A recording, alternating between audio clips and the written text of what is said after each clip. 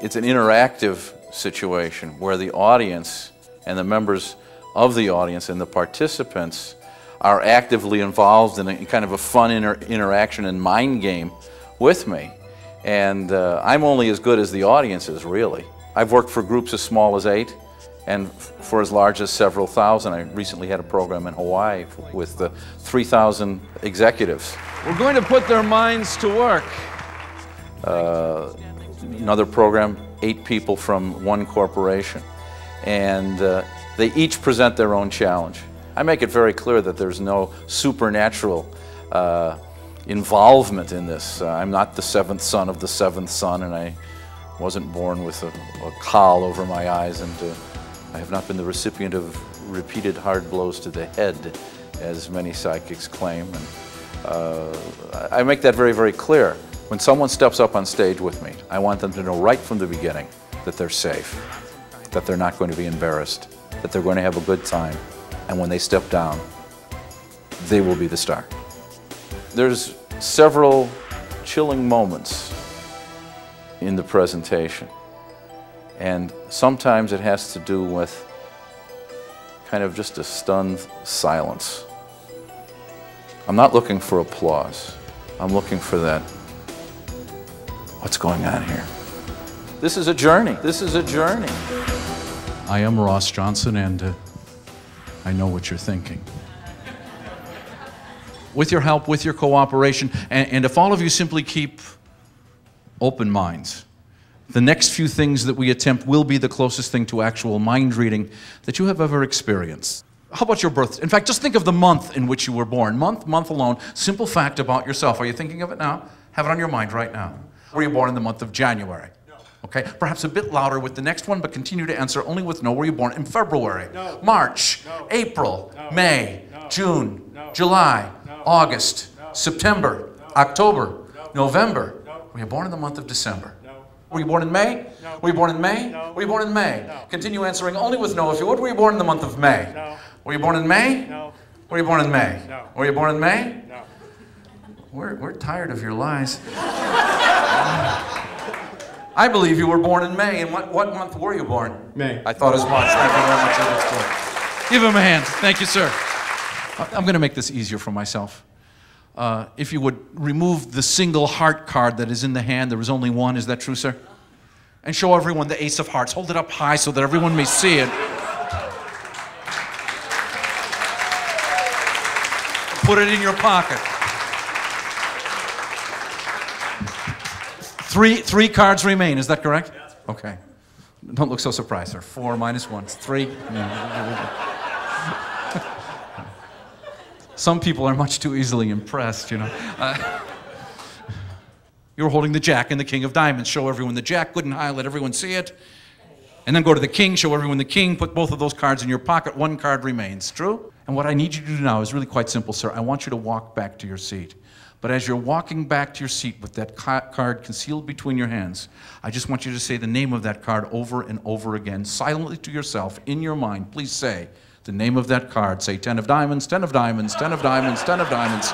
If you would, show everyone the 10 of diamonds. I thank you very, very much. Give him a hand. The cards are yours, sir. Thank you very, very much. Thank you. Open the book and, and, and choose a word. Have you chosen a word? Yes. You have one? Would you like to change your mind to a different word? No, Okay, close the book. We no longer need the book, we do need your minds.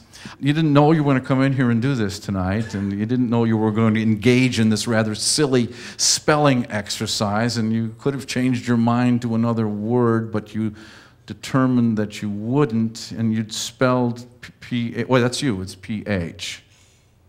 Is that correct? Yeah. It's getting creepy, isn't it? F U R. Is that correct, sir? P H O T O F U R N I T. The word is furniture. Thank you very much. You may be seated, sir. Thank you. And you could have changed your mind to, to another word, but you stuck with your first choice, photographer. Is that correct? Thank you very much. Thank you, ma'am. Did you change your mind? Yes, I did. You changed your mind. You initially had another item in mind and then changed it to this one. Yep. Yes, I did. Uh-huh. With the express intention of kind of screwing this up. You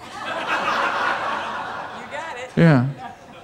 So you come up here with a bit of an attitude. Yes, I did. Yeah, I know. You're not one to normally believe in this sort of thing. Yes, I do. You Do you? Because I have it myself. Good. Well then, is, is the item beneath my hand? Yes. Okay, let's let's. I just get this change of mind. The, the, this this item this item is yours though. Yes.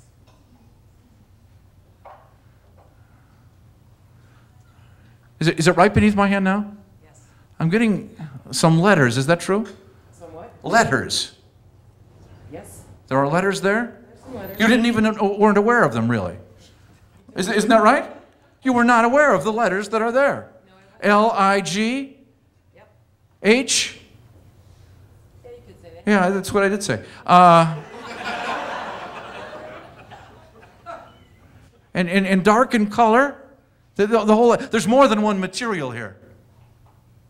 Is that correct? Only one item, but more than one material. There's synthetic and, and, and organic and, and uh, put your shoe back on.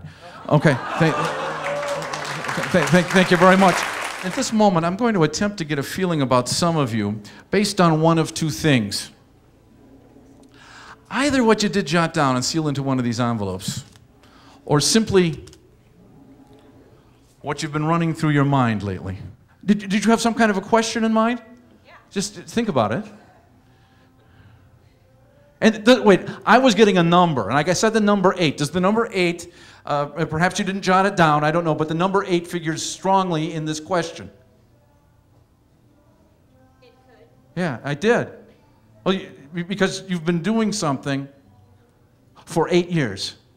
Isn't that right? You've been involved in something for eight years. Yeah. You're an educator, a teacher, is that true? Yeah, you'll get your 35 years in, don't worry. That big, that big pension that. Are you a Cub fan? That's what this is about. Would you stand? You, you, you, you, don't have to be psychic to know the Cubs are not going anywhere in your lifetime.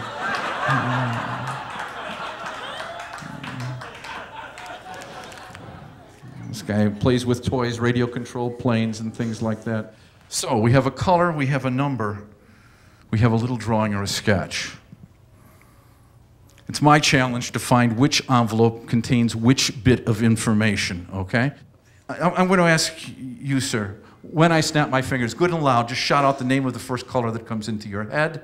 You're thinking about your color. Now do it now, sir. Purple. What's the color you were thinking of? Purple, okay? Open that envelope if you would, sir. It's going to get worse, me.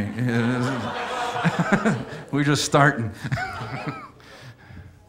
there should be one card on the inside. Good and loud, what does it say, sir? Purple, if you'd hand that stuff to me. Thank you very, very much. Thank you. Let's go for the number, okay? Let's, let's go for the number.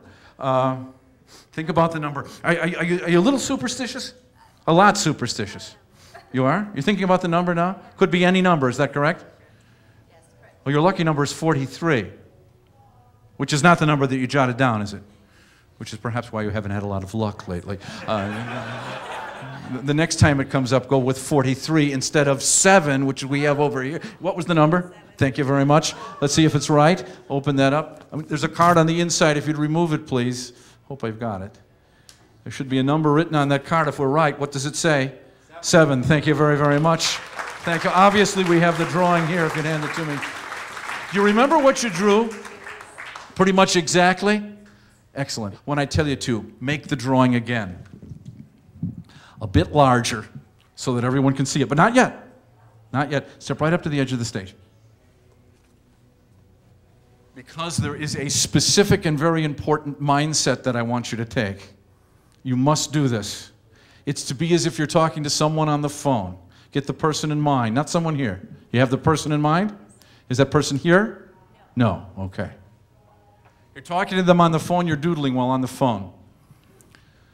Make the drawing now. You could have drawn anything, is that right? Anything at all. This, this is what she chose to draw, okay? Well, you were drawing this, I was drawing this, you see. Uh, now, you do that well. I want you to imagine, if you would, that you're in the place that you would most likely be if you were actually going to call this person. Face the audience, if you would. Where would you be? Could be in, in your home, it might be in your office, it might be a mobile phone, a public phone. Where are you in your mind? At work. And would this be a personal call? Yes. The work ethic of you young ones, I don't know. Yeah. Go right to the first three digits. See your finger as it touches simply the first three digits of the telephone number. Six, five, four. Is that true? Okay. Touch the next. No, you've only touched. Are, are they both the same? They're both three, then, is that right? Okay. T- touch. Were you born on a Thursday? I'm not sure. You're not sure? But you were there.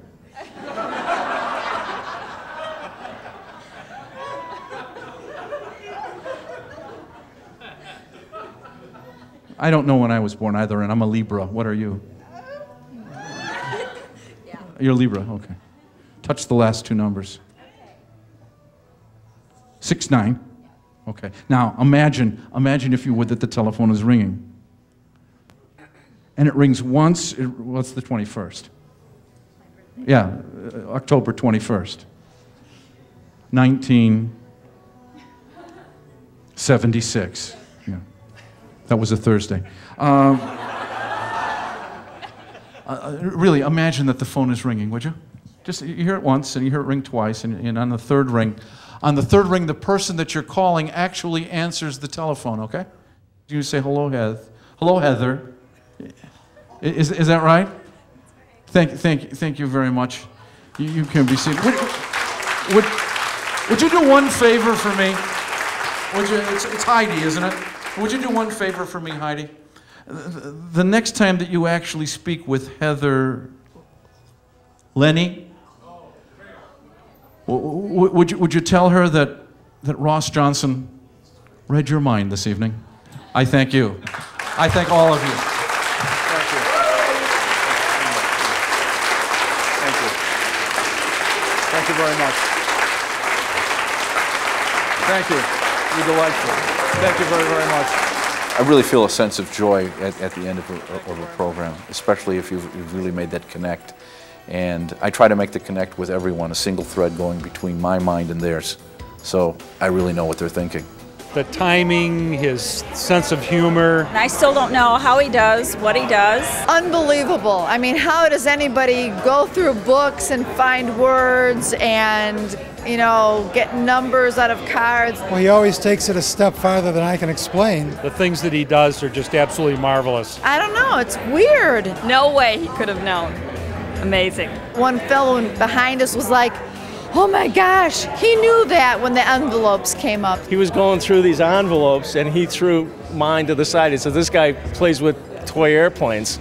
This guy plays with toys, radio controlled planes, and things like that. That was me. He picked And it, and it says, I, I like to fly RC airplanes. And I, I went and recovered it. I can't figure how he did that. It was really incredible. Something's going on here that uh, these people haven't experienced before.